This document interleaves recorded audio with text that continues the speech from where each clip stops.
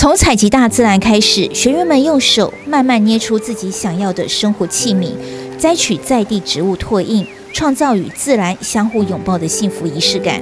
我们就是还蛮喜欢以就是基隆的样貌、大自然的感受，然后我们来呈现与跟陶土的一个连接，然后我们带进到我们的课程里头。那我们会就是结合自然跟陶土，就是在这块大地上去做一个创作。基隆子弟张浩燕创作的陶艺作品粗犷豪迈，欢喜中带有原矿感，获奖无数。这一次与老婆凯旭回到基隆，在绿竹园农场教陶艺创作，享受与大自然的对话。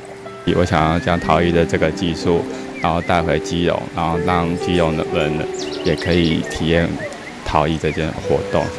夫妻俩撰写七年投入公共服务计划，获得补助，在敲山生青农的支持协助下，带着来自各地学员拥抱不同的创作模式。我们有台湾朋友带我们来参加，嗯，很期待，很也很很有点难，但 是也很好玩。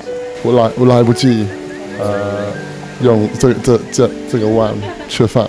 那我今天做的是小花瓶，对。也是过程也是有点难，因为毕竟是第一次。但是就是在这过程中，就会觉得，呃，可以感受到那个细细慢慢的那种生活的感觉。看到他们非常棒的作品《大地之色》，有得到绿公益的奖项。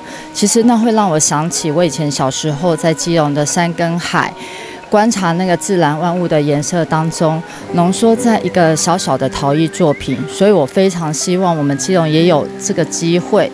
能够呃青年回乡，青年回流，把我们基隆的非常棒的陶艺师，然后带进来基隆的自然场域当中进行生态教学。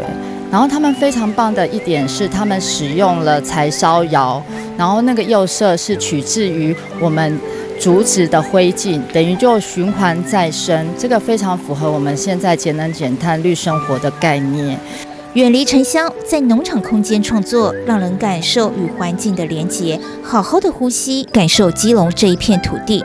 还有两次课程哦，一样要带学员在大自然怀抱中进行沉浸式的陶艺创作。